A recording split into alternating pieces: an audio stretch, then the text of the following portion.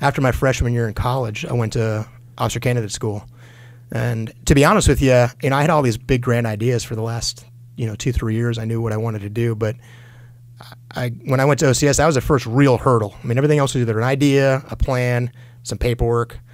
I get to the officer candidate school, and it's like, okay, there's a real Marine drill instructor screaming at you. You know, you're really doing the, the deed there. And getting through OCS was a big thing for me because it was the first real test of did I, you know, I knew what I wanted to do, but I had no real sense if I had what was required to be a Marine.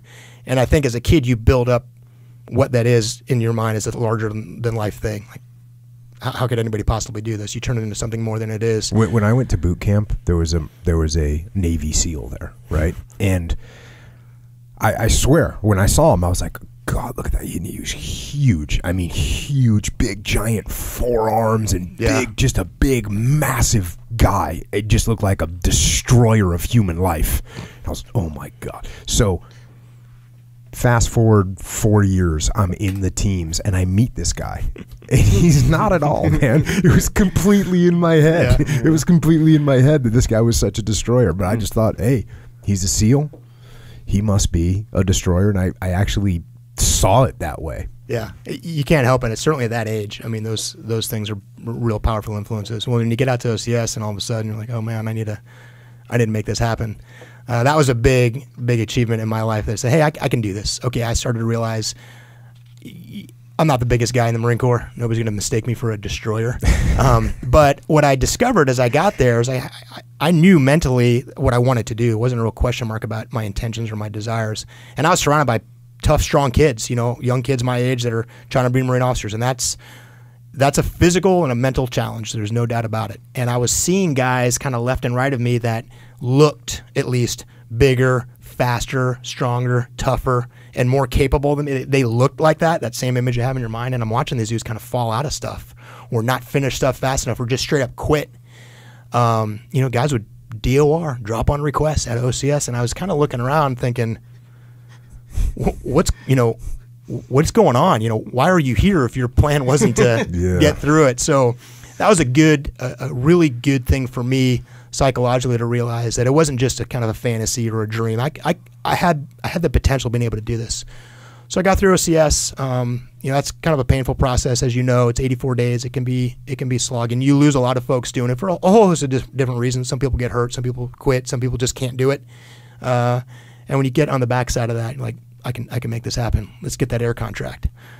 Well, we'll get you that air contract at, at the basic school. So, which is when you get your commission, you, you finish school, you get your degree, finish officer candidate school. And so basically, it's hey, you've done everything that you need. You, you're a commissioned officer. I became a second lieutenant in the Marine Corps in June of 1994. And the first thing you do on active duty as a Marine is you go to something called the basic school. I know you've talked about it a few times.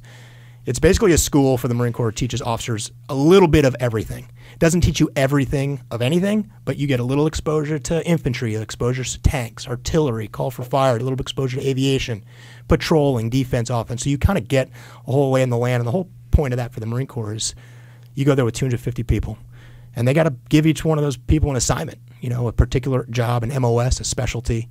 Um, and they rank you. I mean, you are ranked from 1 to 250. And for aviation, when I got there, I remember getting there the first week. They kind of announced what billets are going to be avail- available. Oh, we're going to have you know 40 infantry slots and 20. T- you know, they just tell you kind of what we expect to have breakdown, and from there, you're supposed to go back and think about what you want to do. They had two pilot slots. I'm like, man, that is some rough math. You know, 250 folks. Now, not all 250 wanted to be a pilot, obviously, and not not all 250 people were qualified with you know their eyes and, and whatnot. So I- it wasn't competing with 250 people, but there's a lot of people that wanted to be a pilot.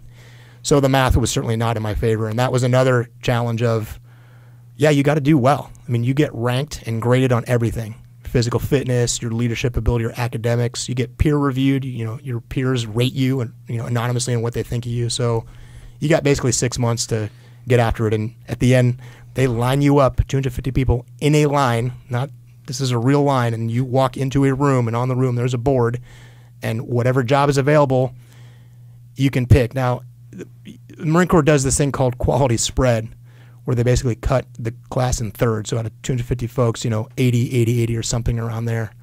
The number one guy picks, then the number 81 guy picks, and then the number 161 guy picks, or whatever it is. And then the number two guy picks. The only job in the Marine Corps that they did not quality spread while I was at the basic school was pilot. So it was going to be the first two guys out of the gate that wanted it, that were qualified, were going to get it. And I got the number two spot.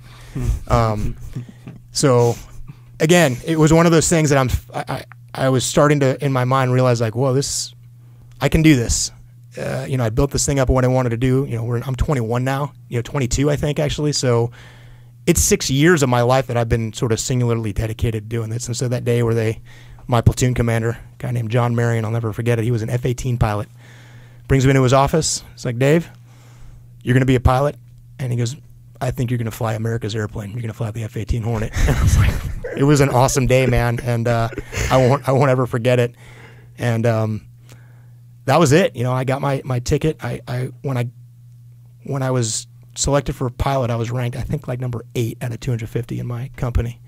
And by the time I graduated, like three weeks later, I was like 25 out of 250. So my performance might have declined a little bit after I had achieved You that. wasn't so, following the theory of no slack. yeah, there was a little slack in that line. That line was pretty tight for a lot of years. for and, six uh, years. yeah. Finally you got it. So a little bit of slack there at the end, but um, I did finish, uh, you know, well enough to get that pilot slot, which is what I always wanted. It was kind of my dream. And What year was that?